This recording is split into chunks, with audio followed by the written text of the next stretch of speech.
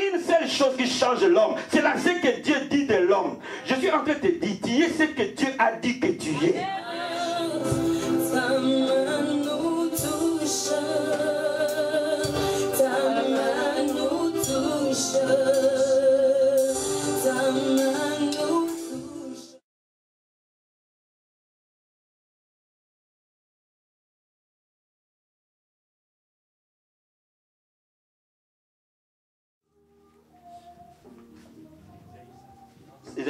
On va lire verset 1 et 2, et puis on va descendre au verset 4 jusqu'en bas. Je demande à Frère Jacques de nous aider dans la lecture, s'il vous plaît.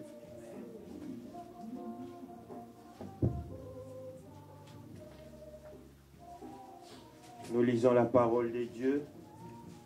Ésaïe 53, nous lisons le premier et le deuxième verset et nous lirons du quatrième au septième verset. C'est ça, papa? Amen. Qui a cru à ce qui nous était annoncé Qui a reconnu le bras de l'Éternel Il s'est élevé devant lui comme une faible plante, comme un rejeton qui sort d'une terre desséchée. Il n'avait ni beauté, ni éclat pour attirer nos regards, et son aspect n'avait rien pour nous plaire. Verset 4, s'il te plaît? Cependant, ce sont nos souffrances qu'il a portées. Amen. C'est de nos douleurs qu'il s'est chargé. Amen. Et nous l'avons considéré comme puni, Hmm. frappé de Dieu et humilié. Amen. Mais il était blessé pour nos péchés, Amen. brisé pour nos iniquités. Le châtiment qui donne la paix est tombé sur lui. Amen. Et c'est par ces meurtrissures que nous sommes guéris. Hmm. Nous étions tous errants comme des brebis. Chacun suivait sa propre voie. Amen. Et l'Éternel a fait retomber sur lui l'iniquité de nous tous. Alléluia. Il a été maltraité et opprimé. Hmm. Et il n'a point ouvert la bouche. Amen. Semblable à un agneau qu'on mène à la boucherie. À une brebis muette devant ceux qui, le- qui l'attendent. Hmm. Il n'a point ouvert la bouche. Verset 10, s'il te plaît. Il a plu à l'Éternel de le briser par la souffrance. Amen. Après avoir livré sa vie en sacrifice pour le péché, il verra une postérité et prolongera ses jours. Et l'œuvre de l'Éternel prospérera entre ses mains. Est-ce qu'on peut acclamer la parole du Seigneur? Amen. Amen. Veuillez vous asseoir. Père, merci. C'est une opportunité, Jésus, c'est une grâce. Que tu nous donnes de parler de toi. Seigneur, je vais parler en ton nom. Je vais parler de toi à ce peuple. Père, ma prière est que cette parole ne retourne pas sans avoir accompli ses desseins. Ma prière est que Seigneur Jésus, tu visites particulièrement des personnes ici présentes. Et que cette parole soit esprit et vie. Ma prière est que tu confirmes cette parole par des signes, des produits et des changements particuliers. Ma prière que toute personne qui est venue en ces lieux, fatiguée, chargée, sortira restaurée. Au nom de Jésus-Christ. Amen. Bien aimé, la Bible nous parle, le prophète Esaïe prophétise sur l'arrivée du Messie. Prophétise sur l'œuvre de la croix, sur l'œuvre de la rédemption que le Seigneur était venu faire à la croix de Golgotha. Alléluia. Et quand on regarde la prophétie d'Esaïe, on voit plusieurs points qui se retrouvent dans les sacrifices de la croix. Généralement, les gens parlent de la croix sans réaliser dans les détails ce qui réellement a été fait. Nous savons tous que le Seigneur Jésus a versé son sang pour nous. Nous savons tous qu'il nous a rachetés du péché. Mais je vais te dire quelque chose. À la croix, le Seigneur a fait plusieurs autres choses que nous sommes parfois ignorants de ce qu'il a fait. Amen. La Bible nous dit que Jésus-Christ à la croix, là, le, prophète Esaïe prophétise sur l'arrivée du Messie. Ce qu'il fera à la croix, sans que ça soit arrivé. La Bible nous dit que à la croix, il allait porter nos souffrances et nos douleurs. Cela veut dire que quand l'homme a péché, il a donné accès au diable pour, pour que l'homme vive dans la souffrance et dans la douleur et dans l'agonie. Mais le Messie, quand il viendrait, la première des choses qu'il allait faire, c'est de, porter sur lui nos souffrances, de porter sur lui nos douleurs. Mais est-ce qu'une âme est chagrinée? Est-ce qu'un cœur est abattu? J'ai une nouvelle à t'annoncer que le Messie est mort à la croix, pas seulement pour te racheter du péché, mais pour porter par son propre corps tout ce que tu as comme douleur, tout ce que tu as comme souffrance. Dis-moi Amen. Dis-moi Amen. La Bible dit il devait se charger de nos douleurs. Il devait se charger de nos souffrances. Jésus-Christ est venu faire une substitution, c'est-à-dire un remplacement. Quand Jésus-Christ est venu, il a payé le prix d'une rançon. Quand on paye une rançon, cela veut dire on donne la contrepartie pour la liberté. Donc je suis en train de te dire qu'un prix a été payé. Et ce qui a été payé, c'est pour tes souffrances, c'est pour tes chagrins. Quelque chose a été payé pour tes péchés. Deuxièmement, à la croix, le Messie devait payer le prix pour les péchés de l'humanité. Et vous savez, le péché a des conséquences dans tous les domaines de notre vie. Parce que l'homme a péché, il a été privé de la présence de Dieu. Il ne pouvait plus avoir accès librement à cette présence. Et parce qu'il n'avait plus accès librement à cette présence, l'homme a commencé à vivre une nature inférieure à ce à quoi Dieu l'a destiné. Donc, bien aimé, le fait que nous nous sommes séparés de Dieu, nous ne pouvons plus vivre une vie à laquelle Dieu nous a destinés. Et Jésus-Christ, par la mort à la croix, il a payé le prix pour tes péchés. Les péchés même avant que tu viennes sur la terre. Bien, mais j'ai une bonne nouvelle à t'annoncer. Si le diable te met une culpabilité en disant que tu n'es pas digne de recevoir la grâce et la miséricorde de Dieu, montre au diable à la croix qu'avant que je vienne sur la terre, un homme avait déjà payé tous les prix de mes péchés. Donne-moi Amen. Donne-moi Amen. Je suis en train de parler de l'évangile. Je ne suis pas en train de parler d'une religion. Parce que la religion veut que l'homme fasse des efforts pour plaire à Dieu. Mais l'évangile me dit, un homme juste, avant même que je naisse, a déjà payé les prix pour moi. J'ai une bonne nouvelle à t'annoncer. Il n'y a pas un seul péché que tu feras que Dieu ne connaît pas et qui n'a pas payé pour. Vous savez, un jour, j'ai parlé avec une femme qui avait du mal à avoir un enfant. Et un jour, elle me dit, pasteur, je pense que Dieu m'a puni parce que j'ai fait beaucoup d'avortements. La Bible dit, vous connaîtrez la vérité, la vérité vous affranchira. Alléluia. Bien aimé, Jésus-Christ est mort pour tous les avortements que tu as fait. Dès l'instant où tu reconnais qu'il est Seigneur de ta vie, tout ce qui a été fait dans le passé est effacé. Dis-moi Amen. Dis-moi Amen. Dis-moi Amen. Jésus-Christ est mort pour notre paix. La Bible nous dit, il était blessé pour nos péchés brisé pour nos iniquités, le châtiment qui donne la paix est tombé sur lui. Bien aimé, beaucoup de chrétiens vivent une vie timorée, une vie d'angoisse, une vie de stress continuel, une vie de manque de paix. Bien aimé, si tu es rentré dans ce lieu sans la paix, j'ai une bonne nouvelle à t'annoncer. Jésus-Christ est appelé le prince de paix. Et par sa mort et sa résurrection, il était mort pour que toi tu aies la paix. Pas la paix comme monnaie, pas la paix à cause d'une nouvelle. Pas la paix à cause d'une promotion. Je suis en train de te dire, Dieu va te surprendre après ce culte de la paix que tu auras. La paix de quelqu'un va déborder.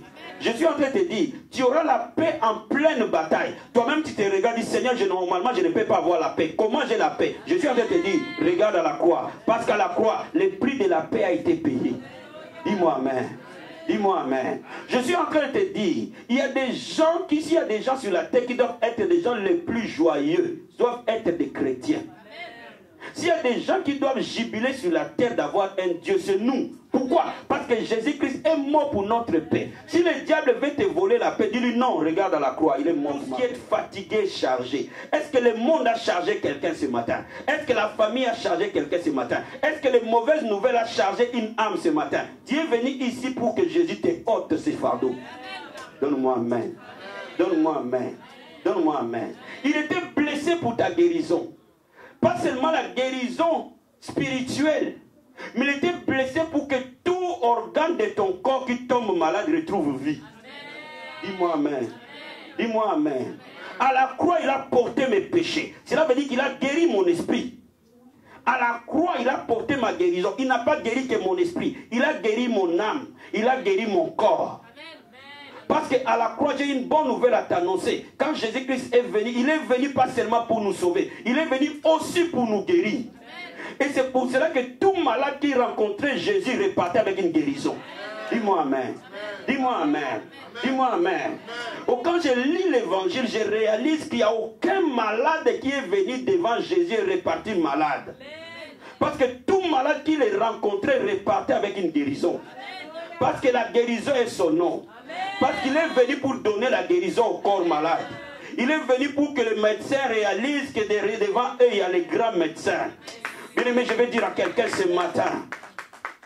Il n'est pas seulement venu parce qu'on nous donnait la vie éternelle. Mais si cette terre, il est venu pour guérir toute personne qui croit en lui. La Bible l'appelle Jéhovah Rapha.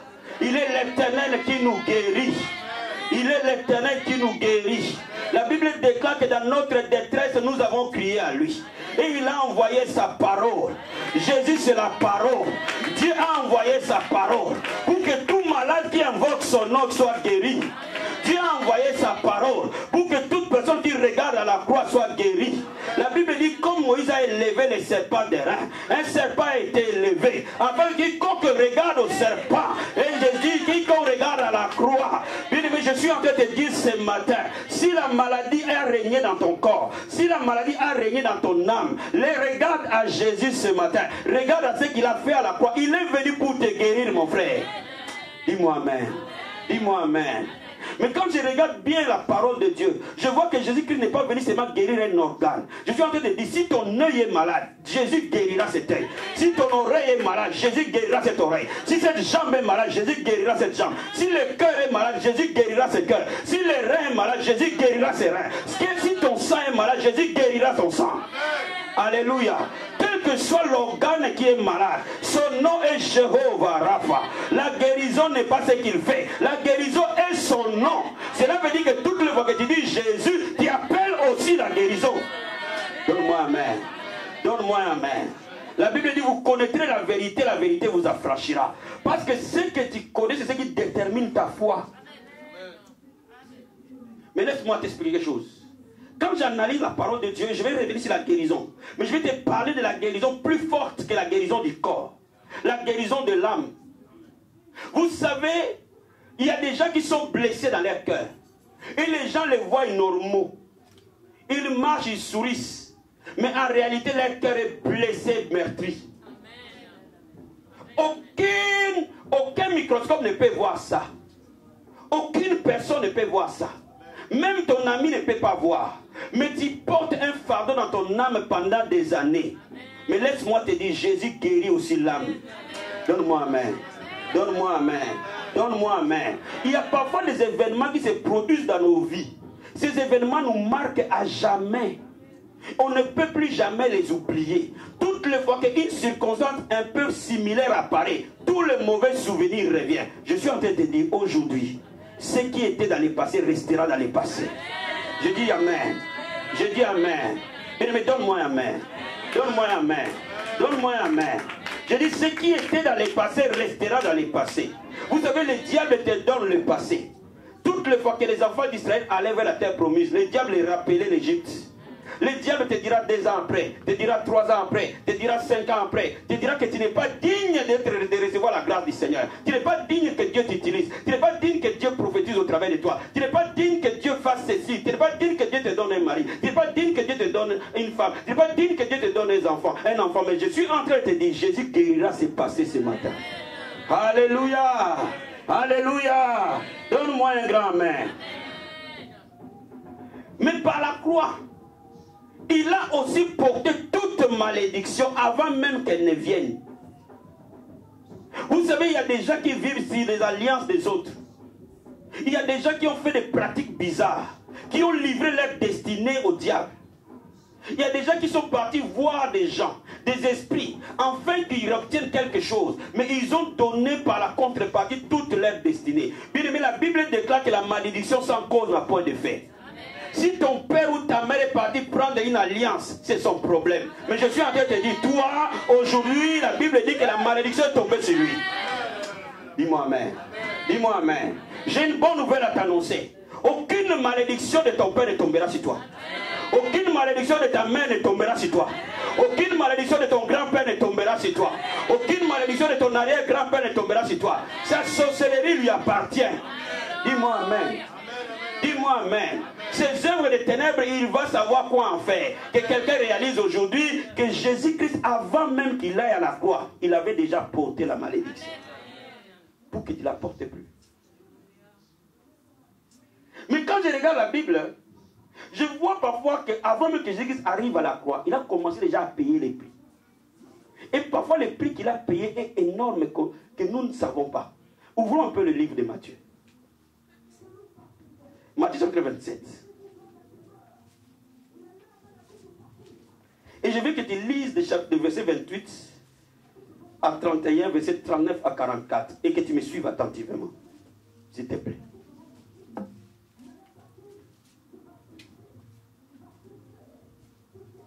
Nous lisons la parole de Dieu. Matthieu 27, 28 à 31.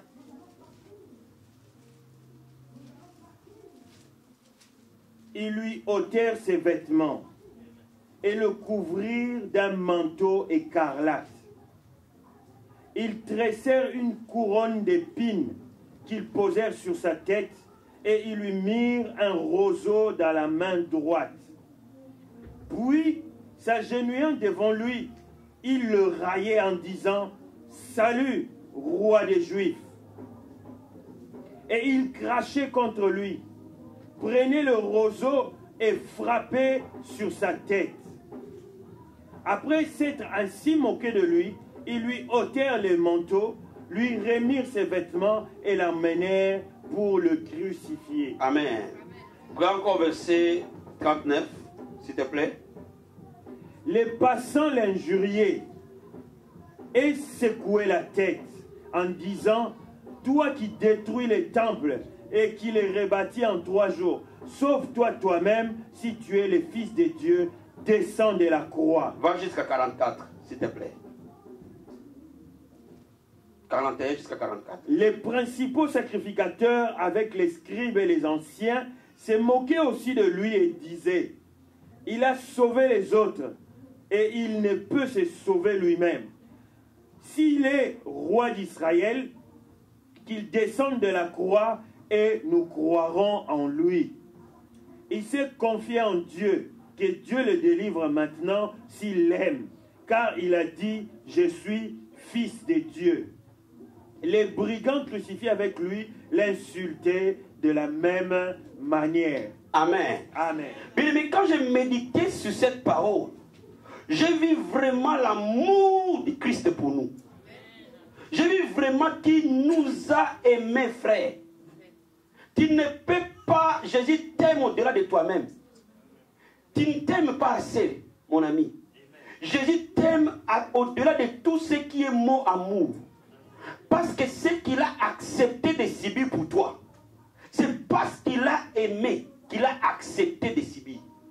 Laisse-moi te dire quelque chose. Si Jésus ne voulait pas aller à cette croix, il n'allait pas y aller. Dis-moi Amen. Dis-moi Amen. Mais avant même qu'il aille à la croix, la Bible nous dit que les soldats l'ont dépouillé. Donc, il s'est laissé dépouiller. Ils l'ont laissé nu pour que toi tu sois honoré. Oh my God, quelqu'un peut dire Amen. Quelqu'un peut dire Amen. Il s'est laissé dépouiller des vêtements. Et ils lui ont fait porter un vêtement de honte. Ils lui ont mis une couronne d'épines sur la tête. Ils crachaient sur lui. Ils l'insultaient. Ils le frappaient sur la tête avec des épines déjà.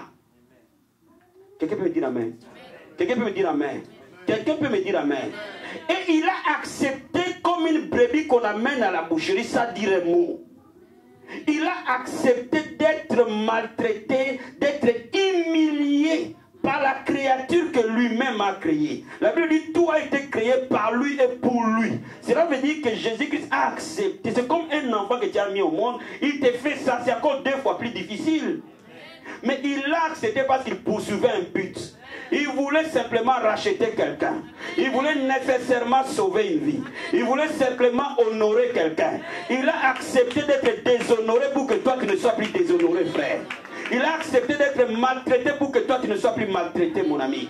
Partout où il passait, les gens l'insultaient, les criaient dessus. Il, il se moquait de lui, en commençant par des soldats. Ils se sont moqués de lui. Les passants, même quand il les regardait, ils l'insultaient.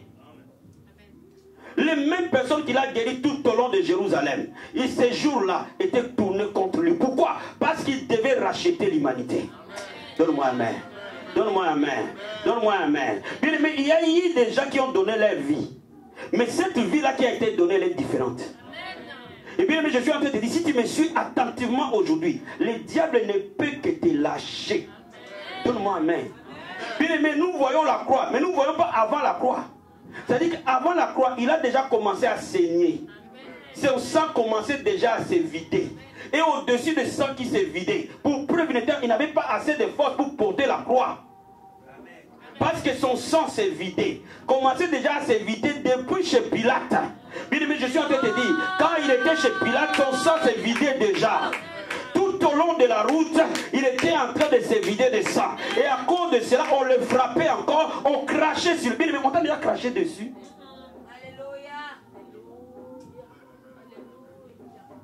La Bible dit même pas une personne, les soldats. La Bible appelle ça une cohorte. Les gens venaient cracher sur lui. Il avait le pouvoir d'appeler 12 légions d'anges à l'instant de tuer. Mais il ne pouvait pas les faire parce qu'il dit Seigneur, j'ai une mission à accomplir. Bien aimé, cette mission est noble, mon ami. Cette mission est noble, frère. Bien aimé, si tu ne sais pas ce que Jésus a fait pour toi à la croix, mon ami, tu es un chrétien minable. Dis-moi Amen. Dis-moi Amen. Dis-moi Amen. Bien aimé, il n'y a aucune prière qui est aussi puissante que la croix. Il n'y a aucune parole que l'homme peut dire plus que la croix. Il n'y a aucune chose que tu peux faire plus que la croix. Les jours où la croix se pose dans ta vie, c'est ce jour-là que le diable te lâche. Dis-moi Amen. Dis-moi Amen. Dis-moi Amen. Oh bien aimé, je suis en train de te dire, ce que l'homme fait pour Dieu, c'est bien. Mais ce que Dieu fait pour l'homme, c'est mieux. Vous m'avez pas dit. Ce que l'homme dit à Dieu, c'est bien. Mais ce que Dieu dit à l'homme, c'est mieux. Ce que l'homme fait pour Dieu, c'est bien. Mais ce que Dieu fait pour l'homme, c'est mieux. Alors si tu veux entrer dans la victoire, prends ce que Dieu a fait pour toi. À la croix, il a accepté tout ça. Pour qu'aucune personne ne te déshonore encore. Et si le diable veut te déshonorer, dis au diable, quelqu'un était déjà déshonoré avant moi. Quelqu'un était déjà maltraité avant moi. Pas n'importe quelle personne, un homme juste, a accepté par lui-même. Aimé, il avait la vie par lui-même. Et il a donné cette vie pour toi.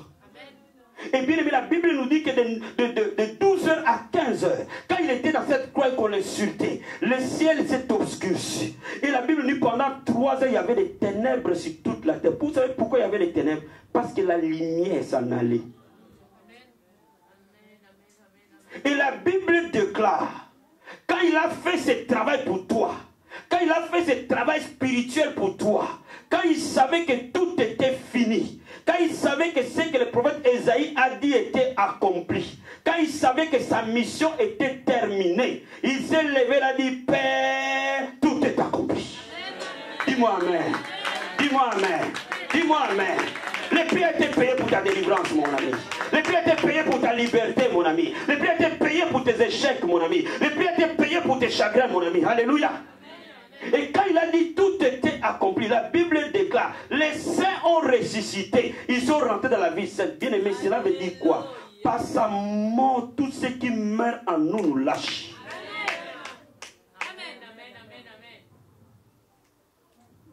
Par sa mort, tout ce qui meurt en nous nous lâche. Par sa mort, tout ce qui mourait en nous reprend vie. Donc, bien aimé, je suis en train de te dire aujourd'hui en positionnant la croix. Je suis en train de te dire l'évangile, c'est la croix. La Bible, c'est la croix. Bien aimé, de Genèse à Apocalypse, ça ne parle que de la croix. Tout, tout ce que nous parlons à l'église, c'est la croix. Bien aimé, je suis en train de te dire aujourd'hui, repositionne Jésus dans sa place. Si tu l'avais fait descendre du trône, remets-le sur le trône de ta vie. Si tu, avais fait, si tu as compté sur ton père, ta mère, tes capacités, bien aimé, sors-le de là. Regarde à Jésus aujourd'hui. Vous savez, vous pouvez compter plus au médecin qu'à Dieu. Vous pouvez compter plus à un homme qu'à Dieu. Vous pouvez plus compter sur votre travail qu'à Dieu. Vous pouvez plus compter sur votre diplôme qu'à Dieu. Vous pouvez compter sur votre savoir qu'à Dieu. Mais laisse-moi se dire aujourd'hui, la croix s'est remise en sa place. Dis-moi Amen, Amen, Amen, Amen. Mais la croix produit un certain nombre d'avantages. Ces avantages appartiennent à toute personne qui croit au Fils de Dieu. La Bible nous dit dans 1 Jean, chapitre 3, verset 8, que Jésus-Christ est apparu afin de détruire les œuvres du diable. S'il est allé à la croix, c'est pour que les œuvres du diable soient détruites. Le, parmi les œuvres du diable, c'est les péchés et toutes ses conséquences. La Bible dit que le diable ne vient que pour voler, égorger et tuer. Cela veut dire que si le diable a voulu détruire quelque chose, Jésus-Christ est venu suppléer à cela. Il est venu pour détruire les œuvres du diable. Et le prix qu'il a payé est un prix parfait. Donc cela veut dire quoi? Cela veut dire 1 Jean chapitre 3 verset 8. Relisons ça s'il vous plaît. Relisons ça calmement.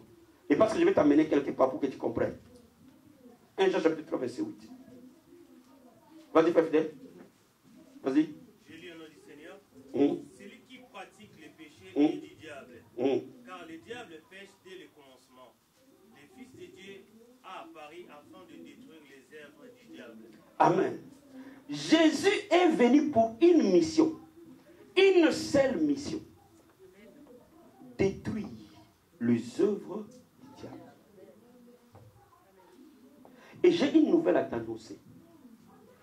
Tout ce qui t'a détruit, ce ne sont que des œuvres du diable. Tu me comprends? Est-ce que tu me saisis? Donc Jésus est la réponse à tous tes problèmes. Jésus est la réponse à tous les problèmes de l'humanité. Parce qu'il est venu justement pour détruire les œuvres du diable. Mais Jésus-Christ est la base de toute liberté de l'homme. Lorsque tu saisis la croix, tu saisis ta liberté. Maintenant, laisse-moi t'expliquer. Vous savez, le diable était hors la loi. Il te montrera toujours les symptômes contraires à la parole de Dieu. Il fera par tous les moyens de te montrer que le prix n'a pas été payé. Vous savez, le diable a fait par tous les moyens de montrer à Ève que Dieu a menti. Vous savez pourquoi on ne voit pas assez de miracles? Parce que nous croyons plus à ce que nous voyons qu'à ce que Dieu dit. Dis-moi Amen. Dis-moi Amen. Dis-moi Amen. Mais nous croyons plus à ce que nous voyons, ce que nous réalisons, ce que nous touchons, qu'à ce que Dieu dit. Mais la Bible dit, sanctifie-le par la vérité. Ta parole est la vérité. Cela veut dire quoi? Il n'y a qu'une seule vérité à côté de 10 000 mensonges. Et si tu saisis la vérité, la vérité apparaîtra sur ta vie. Donc je suis en train de te dire quelque chose. Pour que tu sois un vainqueur, il faut que tu ne doutes pas un seul instant que le prix que Jésus a payé pour toi est parfait il n'y a pas autre chose à y ajouter. Pour que tu sois un vainqueur, il faut que tu réalises une chose. Tout ce que j'ai vu, ce qui est contraire à l'œuvre que Jésus a fait pour moi à la croix est passager.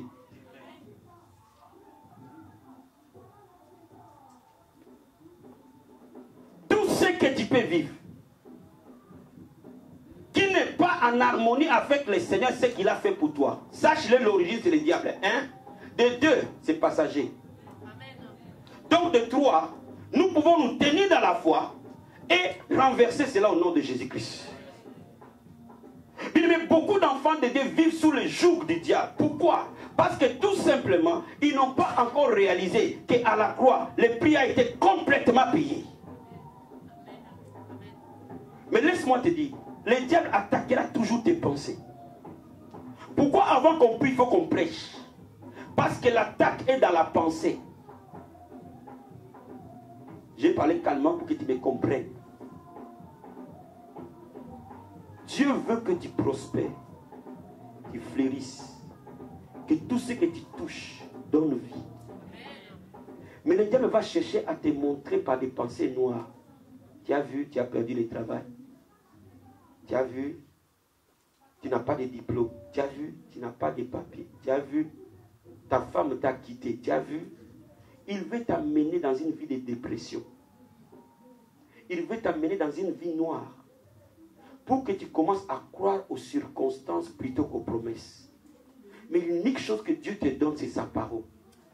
Si tu t'accordes avec cette parole, elle va t'amener là où tu vas aller. La Bible déclare que dans leur détresse, ils ont crié à Dieu. Dieu n'a pas changé les circonstances. Dieu leur a envoyé la parole. Dieu ne nous guérit pas, il nous envoie sa parole. Et que lorsque cette parole arrive dans notre esprit et que nous adhérons à cette parole, cette parole qui produit guérison dans notre corps. Dieu ne nous donne pas une femme, il nous envoie sa parole. Quand tu es en train de m'écouter et que quand les gens te disent qu'il y a un esprit de célibat dans ta vie, reprogramme tes pensées. Mais tu te dis, je ne peux pas être envoûté encore. Parce que Jésus est mort à la croix pour moi.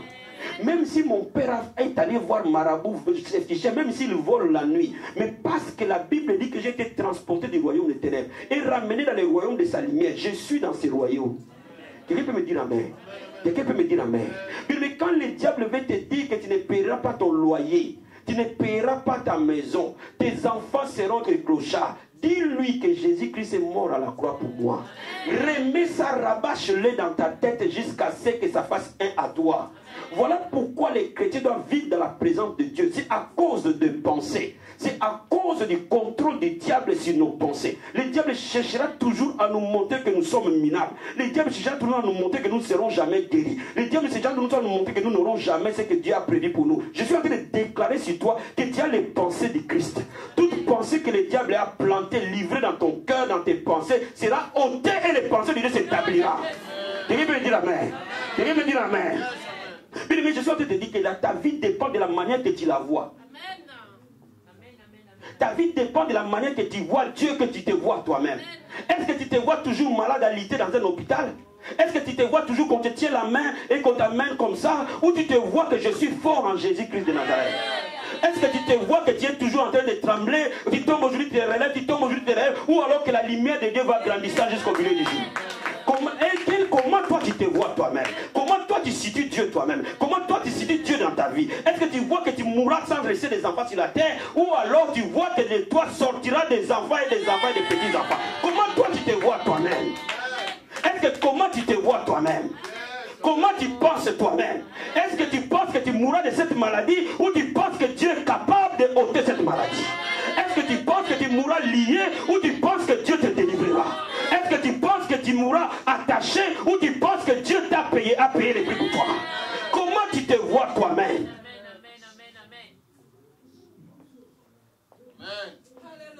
Quelqu'un peut me dire Amen. Quelqu'un peut me dire Amen. Bien la Bible nous dit nous devons être renouvelés par nos pensées. Nos pensées doivent être renouvelées afin que nous puissions être métamorphosés pour entrer dans les plans de Dieu. Bien aimé, je suis en train de te dire, tu peux être à l'église. Ça, être à l'église, c'est la volonté de Dieu. C'est sa parole. Dis-moi Amen. Dis-moi Amen. Dis-moi Amen. Dis-moi Amen. Bien aimé, quand la maladie te terrasse, lève-toi, renouvelle tes pensées. Arrabache-le. La Bible déclare que par ce maître j'ai été guéri. Dis-le 15 000 fois par minute. Quelqu'un peut dire Amen. Vous savez ce que vous dites? Votre esprit le croit. Quelqu'un comprend ce que j'ai dit? Quelqu'un comprend ce que j'ai dit? Quelqu'un comprend ce que j'ai dit? Oh my God, nous sommes à la montagne de Dieu. Dis à ton voisin, tu as le pouvoir de changer ta destinée. As le pouvoir de devenir ce que Dieu a prévu pour toi. Est-ce que dans cette église, il y a des gens qui me suivent ce matin? Est-ce que dans cette église, il y a des gens qui me suivent ce matin? Est-ce qu'il y a des gens qui me comprennent ce matin? Mais aujourd'hui, il y a des révélations du royaume qui sont en train de sortir. Il y a des choses qui rendent les gens vainqueurs. Bien aimé, je suis en train de te dire, les circonstances ne peuvent pas contrôler ta destinée. Et en toi, celui qui est en toi est plus grand que celui qui est dans les morts. Mais tu dois savoir comment on bouge Dieu qui habite en nous. La Bible dit, si celui qui a resté Christ d'entre les morts habite en nous, le même esprit qui a resté Christ d'entre les morts résistera nos corps mortels. Si l'esprit de celui qui a ressuscité Christ d'entre les morts habite en toi, est-ce que tu as reçu le Saint-Esprit? Est-ce que tu es enfant de Dieu?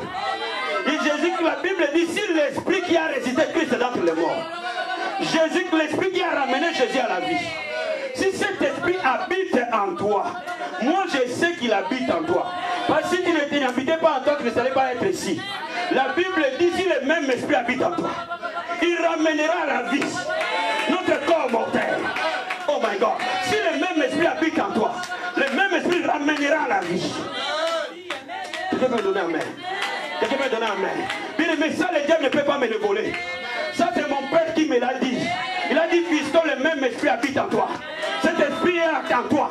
Il ramènera à la vie ce qui est mort. Le diable ne peut pas me le voler. Même si mon père me dit le contraire, je dirais non. Parce que mon père, véritable père, m'a dit, si l'esprit de celui qui a résisté Christ d'entre les morts habite en toi, Makorabashi, Rikobo.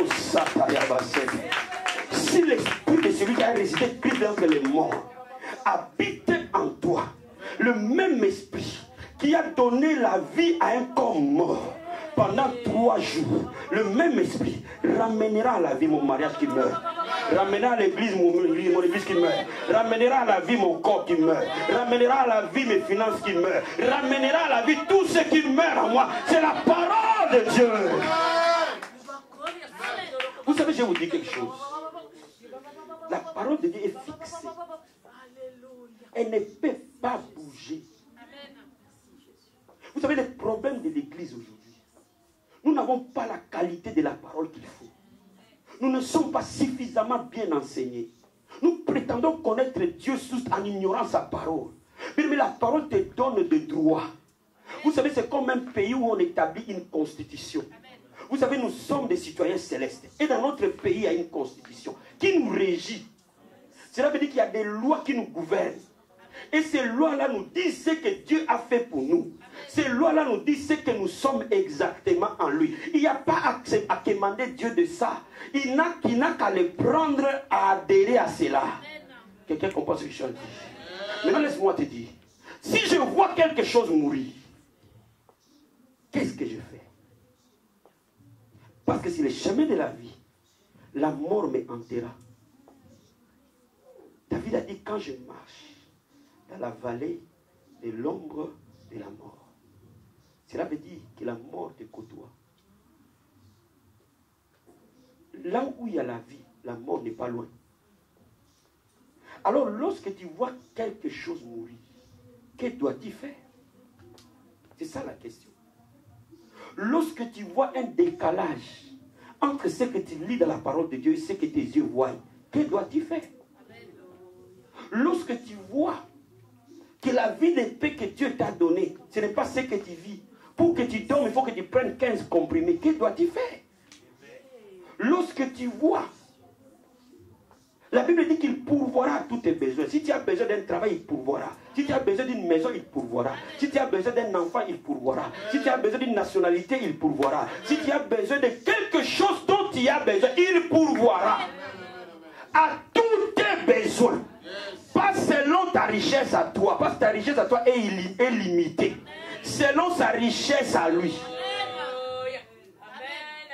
Pas n'importe comment, avec gloire. My God. Oh my God. Si nous pouvons saisir la parole du Seigneur. Laisse-moi t'expliquer. Pour que tu me comprennes bien. Et que quand tu vas prier, le diable qui a voulu mettre un petit bâton, il aura tellement honte qu'il va récupérer son bâton. Avant même que tu pries. Tu me comprends? Est-ce que tu me comprends? Est-ce que tu me comprends? Le diable qui, a, qui est venu mettre les bâtons sur ton chemin, il aura tellement honte que tu connais tellement la vérité. Vous savez, quand on attrape un menteur, tu sais, les menteurs fouillent, hein? tu m'as menti. Ça marche jusqu'à ce jusqu'au jour où je saurai que tu m'as menti. Les jours où je vais te faire asseoir, tu sais que tu m'as menti pendant des années. hein? Je connais maintenant la vérité. Qu'est-ce qui va se passer à la personne? Le diable t'a menti pendant des années. Il est expert en mensonges. Il est tellement fort pour monter des dossiers de mensonges. Il peut même te fabriquer tous les symptômes de la terre, même ceux qui n'existent pas. Juste pour te convaincre que tu es minable, tu ne seras pas guéri.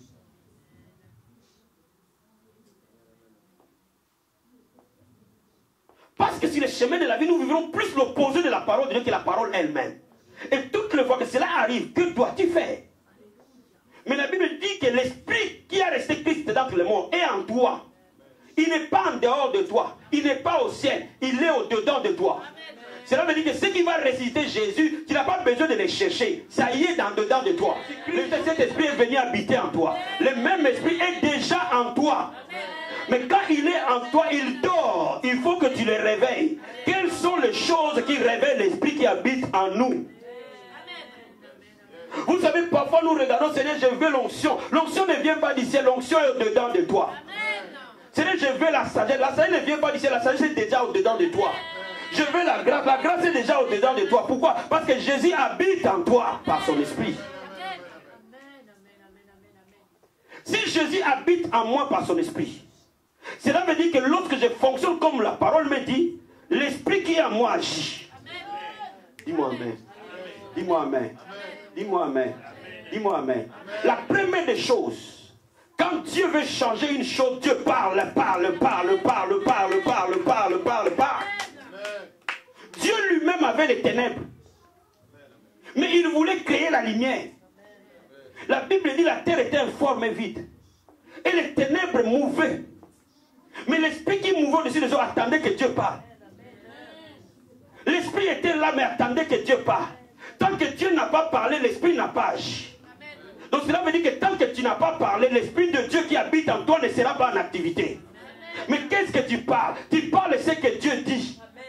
Et non ce que tu vois. Je suis en train de dire quelque chose. Regarde, même si ta jambe elle est morte, elle n'a pas la vie. Mais au-dedans de toi, il y a une vie supérieure à ce corps. Quelqu'un comprend ce que je suis en train de dire? Quelqu'un comprend ce que je suis en train de dire? Je suis en train de dire, même si cette jambe, elle est atrophiée, mais Dieu t'a donné une vie supérieure. Un esprit supérieur. Même les astrologues en Babylone ne pouvaient pas nier l'esprit par lequel Daniel vivait. Ils ont dit qu'il a en lui l'esprit supérieur. Cela veut dire que ce qui est en toi est supérieur à la matière. Ce qui est en toi est supérieur à la chair. Ce qui est en toi est supérieur au monde matériel. Au frère, je dis en train de saisir ce que je dis. Ce qui est en toi est supérieur. Et cela veut dire que c'est ça que il faut que tu t'appuies. Parce que l'esprit de Dieu est l'esprit supérieur. Et cet esprit dort en toi. Il t'a dit que je t'ai donné le pouvoir de parler. Je t'ai donné le pouvoir de créer par la parole. D'appeler ce qui n'existe pas comme si elle était. Mais quand tu es en train de voir quelque chose en train de mourir, parle à ceux qui meurent. Oh, sois béni, mon fils. À ceux qui meurent. Bien aimé, tu as un choix à faire. Est-ce que je regarde aux symptômes ou je regarde à Dieu? Parce que si je regarde aux symptômes, ces symptômes vont me faire mourir. Mais si je regarde à Dieu, Dieu ramènera ces symptômes à la vie. Alors, bien aimé, je suis en train de te dire, même si ton enfant est en garde à vue, n'arrête, cela ne change pas à rien ce que Dieu a dit sur cet enfant. Oh. Écoute-moi. Même si on l'attrape en train de voler, Alléluia. Papa, tu un enfant ici. Maman, tu un enfant, écoute-moi bien. Même si on l'attrape en train de voler et qu'on le fait mettre les empreintes et que l'État dise que c'est un voyou, on l'a amené en prison parce qu'il est voyou. C'est ce que les gens ont vu. Tu ne peux pas les nier. Mais ce n'est pas ce que Dieu voit cet enfant. Alors il faut que tu vois en cet enfant comme Dieu le voit. Il faut que tu vois en cet enfant de la manière que Dieu le voit. Il faut que tu regardes que Dieu a dit vos fils seront appelés disciples de l'éternel. Grande sera la prospérité de tes fils. Dieu a dit tes fils, tout ce qui sort de toi, entre dans la même alliance que toi. Aimé, un lion ne peut pas donner un bouc. Quelqu'un peut me comprendre ce soir? Un lion ne peut pas donner naissance à un bouc. Même s'il aime le bouc, mais il ne peut pas enfanter un bouc. Parce qu'un lion ne produit que des lions. Parce que toi, tu as une alliance avec Dieu. La Bible dit vos fils seront disciples de l'éternel.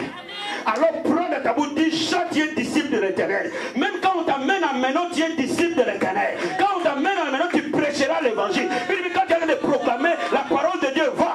Eh, ah. Quelqu'un me donne la main.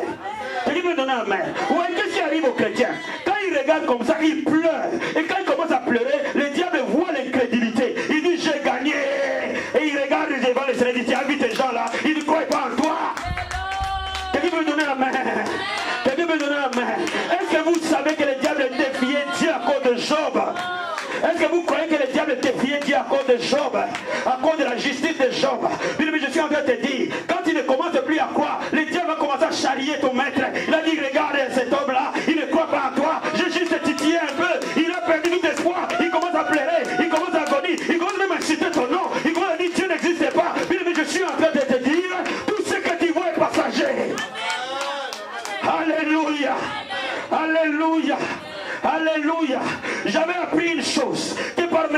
ne réussirai pas. Mais si je m'appuie à la parole de Dieu, elle m'amènera là où je vais arriver. La parole de Dieu a une puissance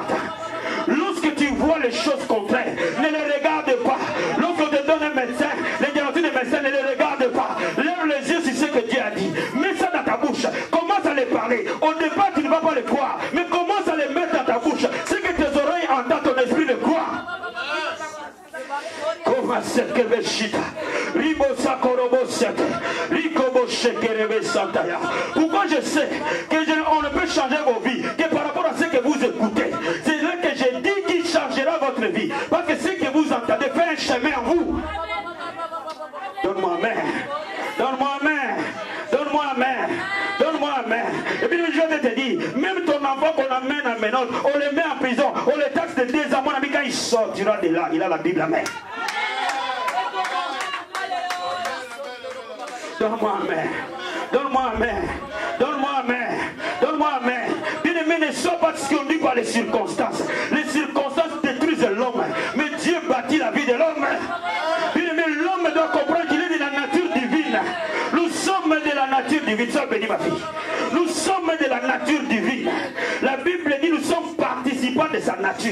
Cela veut dire que nous fonctionnons comme Dieu fonctionne.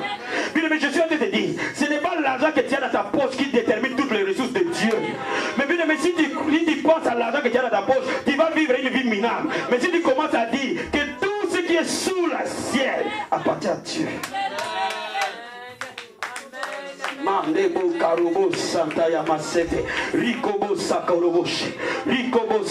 Je vais te dire quelque chose. J'avais remarqué une chose. Quand j'ai commencé mon ministère, je n'avais jamais assez d'argent pour payer. Donne-moi un main. Donne-moi un main. Je regardais tout ce que je faisais. Je n'avais jamais eu assez d'argent. Vous comprenez assez d'argent? C'est-à-dire que quand on arrive les 30, j'ai 2000 euros pour payer mon loyer les 10, j'ai 800 euros pour payer les médias, j'en avais en stock. Tu me comprends? Suis-moi bien. Si tu me suis ce soir, c'est terminé. Le diable ne pourra plus jamais t'arrêter. La Bible dit quand il traverse la vallée de Baca, quand il traverse cette vallée, tu prendras de la force en marchant. Quand tu marcheras, c'est là où tu prendras de la force. Bien aimé, Dieu ne donne pas des choses quand tu es assis. Dieu donne les forces quand tu y es tu vas vers ta destinée. Quand tu commences à aller vers ta destinée. Et c'est à ce moment-là que tu verras sa providence. La providence de Dieu ne vient pas quand on est assis en train d'attendre la provision. La provision existe. Et j'ai commencé à dire, Seigneur, la Bible déclare que tout ce qui est sous le ciel t'appartient. Ce qui est sous le ciel t'appartient. L'argent t'appartient. Les hommes t'appartiennent. Même ceux qui sont dans les banques t'appartiennent. Père, moi je suis en train de faire ce que tu m'as demandé de faire. C'est à toi d'agir. Alléluia. Mais j'ai remarqué toutes les fois que j'avais besoin de payer, j'ai payé. Juste dit, ne mettez pas votre cœur là où l'homme peut voler. Mettez votre cœur là où aucun homme ne peut arriver. Cela veut dire que quand tu mets ton cœur sur le médecin, il va te tuer. Si tu mets ton cœur sur ton patron, il va te détruire. Mais mets ton cœur là où aucun homme ne peut arriver. Quelqu'un peut me donner un main. Quelqu'un peut me donner un main. Quelqu'un peut me donner un main. Quelqu'un peut me donner un main. Quelqu'un peut me donner main. Je suis en train de te dire que ta vie est dans ton cœur. La Bible dit, veille sur ton cœur au-delà de tout. C'est de lui que vient les issues de la vie. Veille sur ton cœur au-delà de tout. La Bible dit veille sur ton cœur au-delà de tout. Mais ce n'est pas là où mon- le sang bat. Parce qu'il dit, c'est de lui, pas de ça. C'est de lui que viennent les issues de la vie. Regarde, écoute-moi attentivement et tu vas comprendre. Dieu dit veille. Cela veut dire que prends une arme et mets-toi devant la porte de cet homme qui s'appelle cœur. Parce qu'il n'est pas un objet. Il est un homme. Il est une personne. Mais la Bible l'appelle cœur. Pour que dans cette porte-là, n'importe qui n'entre. Parce que c'est là où le diable veut entrer. Toi, veille. Cela veut dire quoi? N'accepte pas que cet homme-là soit corrompu. Cet homme-là qu'on appelle cœur, c'est le vrai toi. Vous savez, Kevin, c'est Kevin. Dis là nous, Kevin. Kevin. Kevin que vous voyez, ce n'est pas lui. Le vrai Kevin est là-dedans. Et Dieu dit, veille sur ce vrai Kevin là. C'est de là où le chemin de la vie jaillit. Cela veut dire quoi? Cela veut dire que lorsque le doute touche le vrai Kevin, il bloque toute sa vie. Mais Kevin, le vrai Kevin a le choix d'accepter là où il veut aller ou là où le diable le, pose. Je vais te donner un exemple. Oh my God, comment je vais vous expliquer ça Comment, comment vous pouvez comprendre ça? Quand vous rêvez, vous rêvez par quoi? Qui a déjà rêvé quelqu'un qui est en train de parler Ou de marcher, de courir Mais tu dors, non? Mais toi, tu cours avec quelle jambe Quelqu'un comprend ce que je dire? Tu dors, tu es là, tes jambes sont là. Mais tu cours, tu cours avec quoi? Tu cours avec l'autre jambe qui existe. Donc même si cette jambe meurt, cela ne veut pas dire que l'autre est mort. My God, my God, my God. Quelqu'un comprend ce que j'ai dit? Quelqu'un comprend ce que j'ai dit? Même si celui qui est à l'extérieur meurt, cela ne veut pas dire que celui qui est à l'intérieur est mort. Même si on t'amène en, serviette, en, en civière, même celui qui est à l'intérieur meurt, quand la Bible dit la, la, la chair rentre dans la poussière, l'esprit retourne à Dieu qui l'a créé. Donc cela veut dire qu'au-dedans de toi, il y a toujours la vie. Alors lorsque tu parles, l'esprit de Dieu qui est en toi contrôle le monde matériel. Contrôle le monde matériel. Contrôle le monde matériel. Contrôle le monde matériel. Jésus-Christ dans la tempête. Vous voyez, il est vrai dans cette, dans cette autre dimension. Les disciples bougeaient, s'agitaient dans la barque. Lui, il était là calme en train de dormir. Pourquoi il a dormi? Parce qu'il voulait dire, il a dit que la tempête ne peut pas me tuer. Dis-moi Amen. Je dois parler à quelqu'un, la maladie ne te tuera pas. La pauvreté ne te tuera pas. Les hommes ne te tueront pas. Les barrières de ta vie ne te tueront pas. Les obstacles ne te tueront jamais. Dis-moi Amen, un grand Amen. Dis-moi un vrai Amen. Dis-moi un vrai Amen.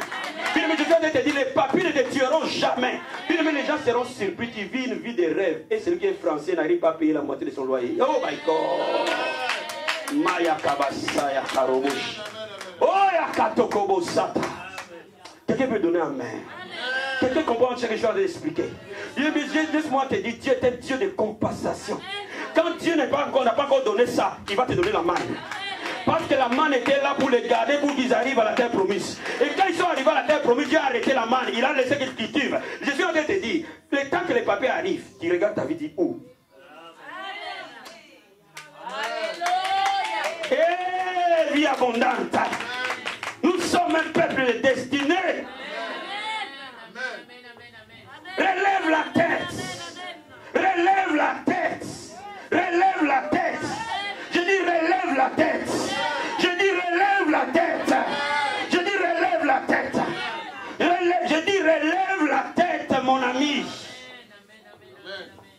Même quand les gens prennent tes bagages et te mettent dehors, ils n'ont rien fait. Nous sommes contrôlés par ce que Dieu a dit. Mon ami, tu comprends ce que je t'ai dit ce matin?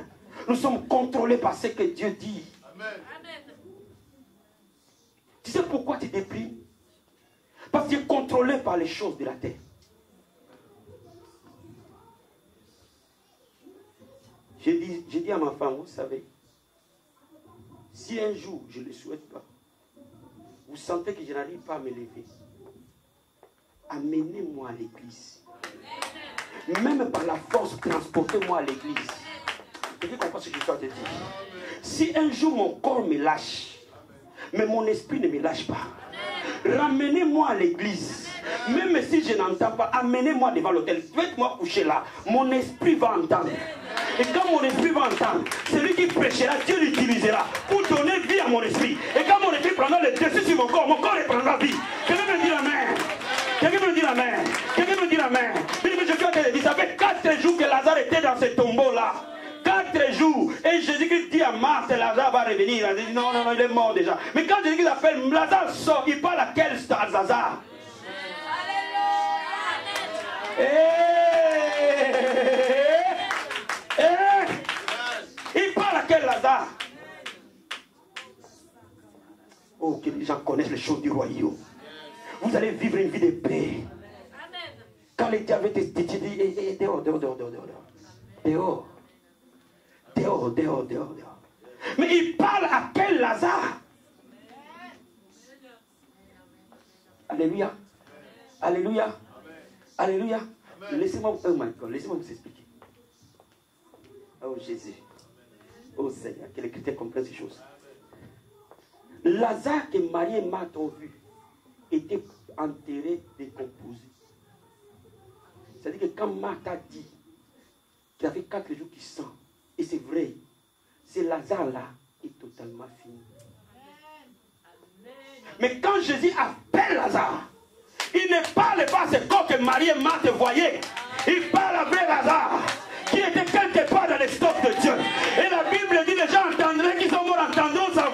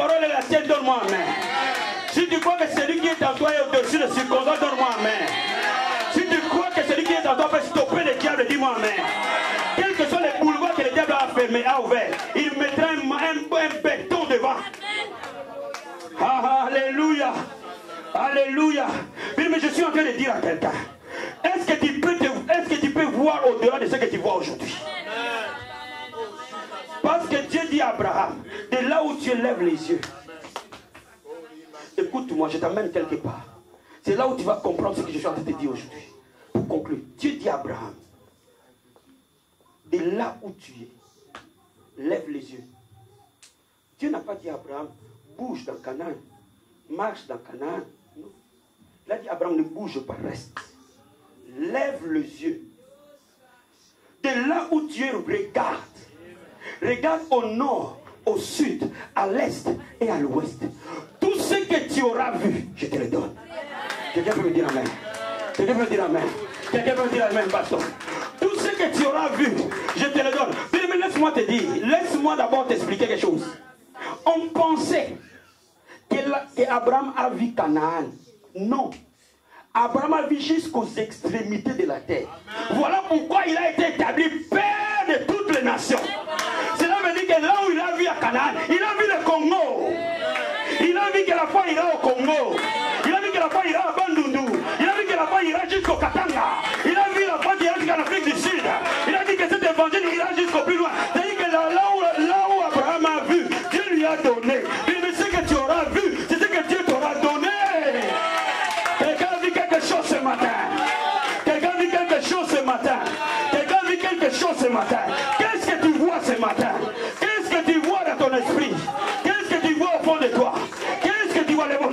Alléluia. Oh, l'onction du Seigneur est dans l'air. Bien, lève-nous cet esprit. Alléluia. Oh, yes, oh, yes, oh, yes, oh, yes, oh, yes. Rima Sokoroboshe. Ma vie, c'est que tu auras vu, c'est ce que Dieu te donne. Jesus. C'est que tu auras vu, c'est ce que Dieu te donne. C'est que tu auras vu, c'est ce que Dieu te donne.